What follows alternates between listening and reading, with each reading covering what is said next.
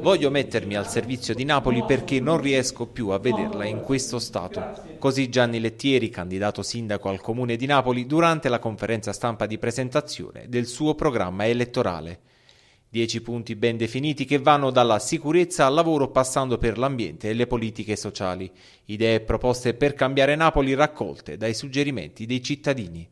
Queste sono le dieci sfide più importanti che sono venute fuori da un confronto con i cittadini, per cui da qui si parte. Poi le cose da fare per Napoli, lo sapete, ne sono tante e tantissime, ma quello che mi fa specie è che sono l'unico candidato che parla delle cose da fare, dagli altri non ho sentito niente. E questa mattina, poco prima della conferenza stampa, Lettieri ha partecipato all'inaugurazione del cantiere di un nuovo centro commerciale a Salerno, progetto nato su sua iniziativa. All'inaugurazione ha partecipato anche il presidente della regione Vincenzo De Luca. Lettieri, ha ribadito il governatore, sta facendo cose straordinarie. Da questo punto di vista c'è una similitudine anche con il lavoro amministrativo, in particolare il lavoro che riguarda il comune. Da segnalare anche la denuncia fatta da Lettieri del clima di tensione che si vivrebbe in città durante questi giorni di campagna elettorale.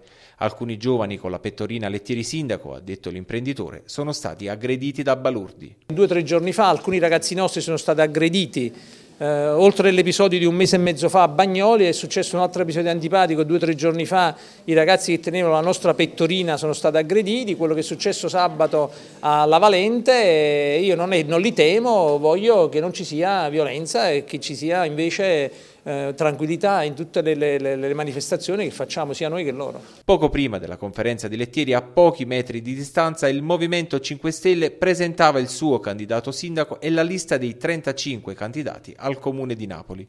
All'incontro erano presenti Luigi Di Maio e Roberto Fico che hanno così ufficializzato la candidatura del Brianzolo Brambilla a sindaco di Napoli. Ma ascoltiamolo ai nostri microfoni. Noi abbiamo un'idea di città che è una città inclusiva, accogliente, una città a misura d'uomo, una città dove i trasporti pubblici siano sostenibili, dove le persone possano sentirsi sicure e questo vuol dire sia dal punto di vista della sicurezza intesa come controllo, sia dal punto di vista della sicurezza degli edifici e quindi manutenzione e restauro degli edifici esistenti. Noi siamo per una riqualificazione dell'esistente e nessun nuovo eh, costruzione. A margine della conferenza non è mancato qualche affondo da parte di Di Maio nei confronti del Partito Democratico. L'unica cosa che possiamo fare è invitare i cittadini a liberare l'Italia da questo partito non votandolo più e sostenendo un progetto come il nostro che porterà onestà e trasparenza nelle istituzioni italiane.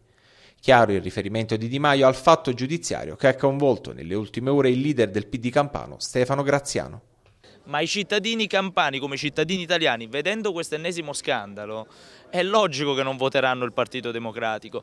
La mia unica preoccupazione è che si astengano, perché questi scandali, al di là del Partito Democratico, guardate, stanno provocando sfiducia nei cittadini italiani che sono sempre più disgustati.